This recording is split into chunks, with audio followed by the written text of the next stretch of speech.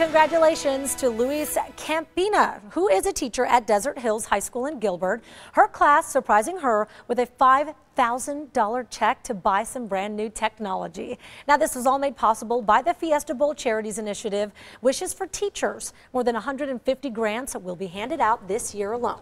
Well, some help